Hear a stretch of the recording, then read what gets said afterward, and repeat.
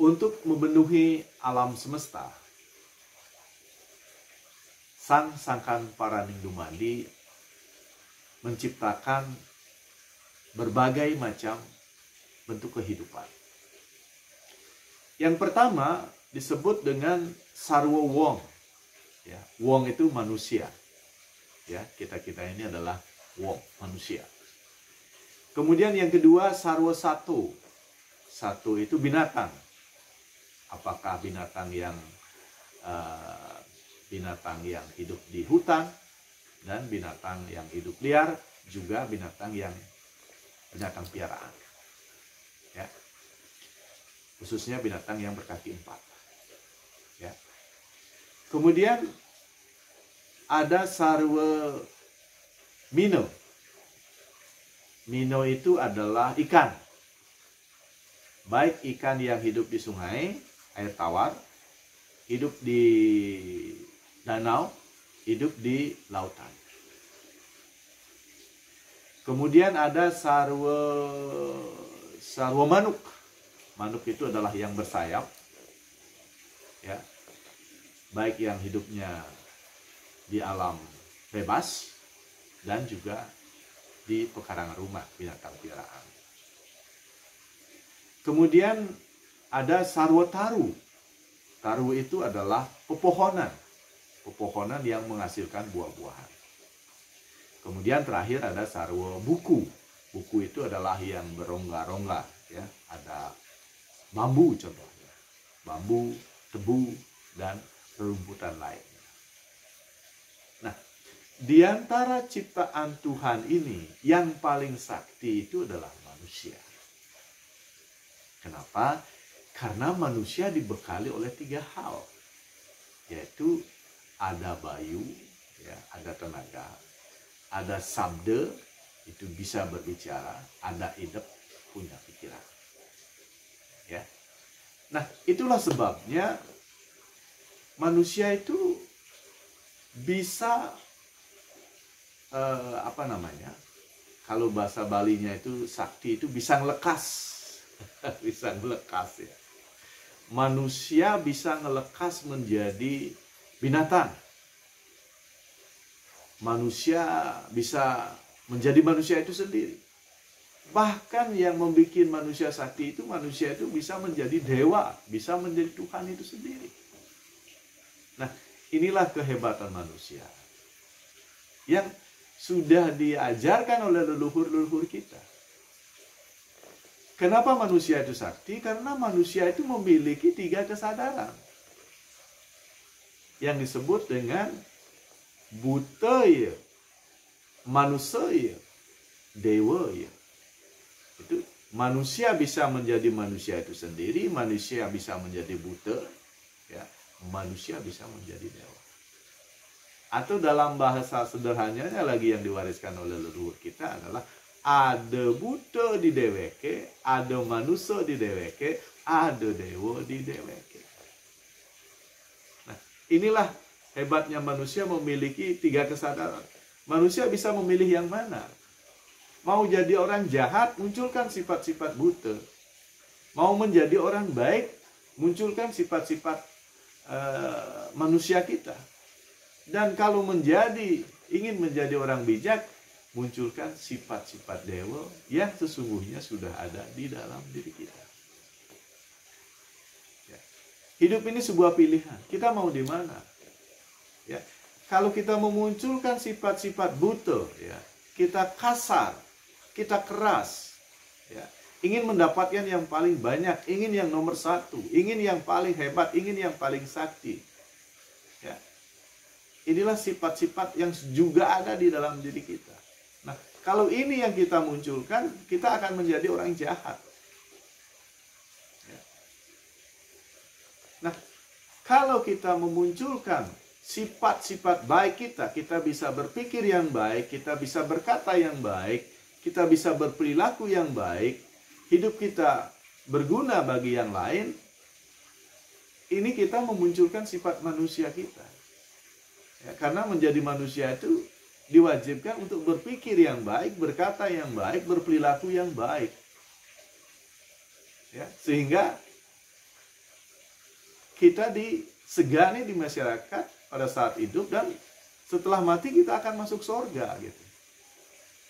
Sangat beda mereka yang jahat, ya mereka akan ditakuti, hidupnya uh, apa namanya akan penuh dengan penderitaan dan pada akhirnya akan masuk neraka. Nah, tetapi hidup kita sebagai manusia bukan bukan untuk uh, bukan untuk meraih meraih sorga, bukan untuk menghindari neraka. Tetapi leluhur kita mengajarkan bahwa tujuan hidup kita adalah mau mencapai uh, moksartam jagadita ya caiti dharma, bahagia semasa hidup dan bahagia setelah kematian. Nah, bagaimana kita bisa mencapai ini? Apakah dengan menjadi manusia yang berpikir baik, berkata baik, berperilaku baik, bisa mengantarkan kita menuju moksa? Tidak. Orang yang selalu berpikir baik, orang yang selalu berkata baik dan berperilaku baik hanya sampai pada sorga hanya sampai pada surga. Kenapa? Karena orang yang baik itu biasanya hidup mereka penuh penderitaan semasa hidup. Walaupun mungkin bahagia setelah kematian. Tetapi tujuan dari kita sebagai orang Bali yang beragama Hindu adalah untuk mencapai kebahagiaan semasa hidup, kebahagiaan setelah kematian. Lalu apa yang harus kita lakukan agar kita bisa mencapai moksartam jagaditaya caiti dharma itu?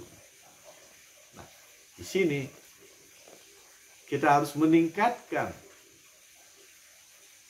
diri kita lagi bukan saja sebagai manusia tetapi memunculkan sifat sifat dewa, sifat-sifat dewi yang sesungguhnya sudah ada di dalam diri kita ada dewa di deweke.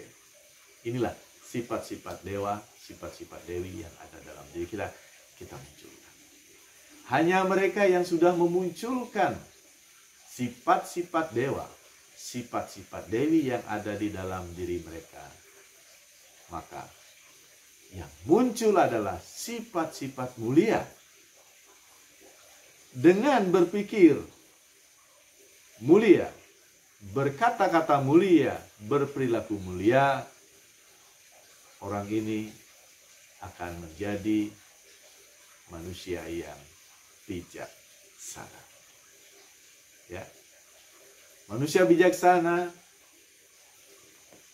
hidupnya akan bahagia semasa hidup, bahagia setelah kematian. Nah, inilah yang disebut dengan moksartam jagadita ia cai dalam. Setiap orang pernah berlaku jahat.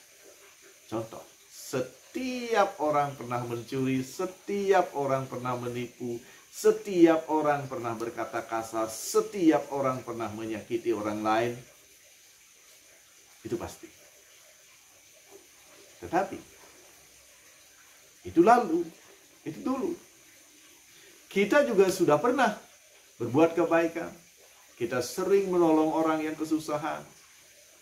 Ya. Kita sering melihat orang sakit, kita sering menolong orang sakit. Ya. Kita sudah sering melakukan uh, perbuatan-perbuatan baik.